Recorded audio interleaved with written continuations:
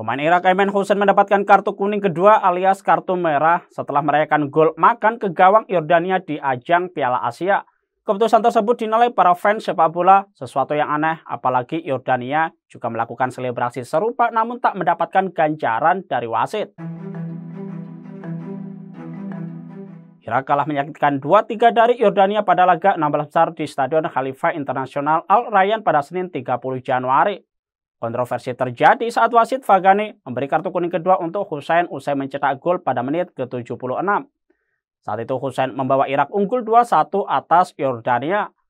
Penyerang 28 tahun itu kemudian melompati pagar dan merayakan gol bersama supporter Irak di tribun stadion. Ketika kembali ke lapangan, Hussein lagi-lagi melakukan perayaan gol lain. Kali ini striker klub Al-Qawa Al-Jawiyah itu berselebrasi makan di atas lapangan.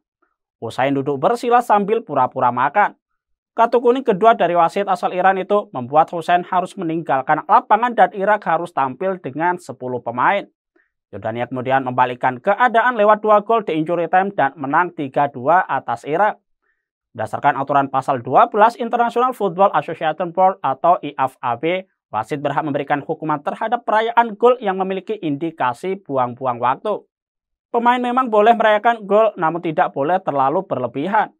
Selain itu pemain juga tidak boleh melakukan selebrasi yang mengandung unsur provokasi, mengejek, dan menghasut. Ada pula larangan gol melepas baju saat merayakan gol. Merujuk situasi yang ada, Husain kemungkinan besar dinilai wasit Fagani melanggar dua hal. Pertama soal buang-buang waktu. Husain sudah merayakan gol dengan berlari keluar lapangan namun kemudian kembali masuk ke lapangan untuk selebrasi makan. Kedua selebrasi makan dengan tangan itu sendiri bisa memenuhi unsur provokasi. Pasalnya saat Yordania mencetak gol pertama, para pemain Yordania melakukan selebrasi gol tersebut dengan gaya makan pakai tangan beramai-ramai. Perayaan gol Husain kemudian kemungkinan dikategorikan mengejek Yordania. Irak sendiri akhirnya kalah di laga tersebut. Yordania bisa mencetak dua gol di masa injury time dan menang dramatis dengan skor 3-2.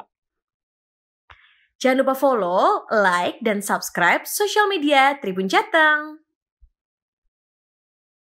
Download Tribun X sekarang. Menghadirkan lokal menjadi Indonesia.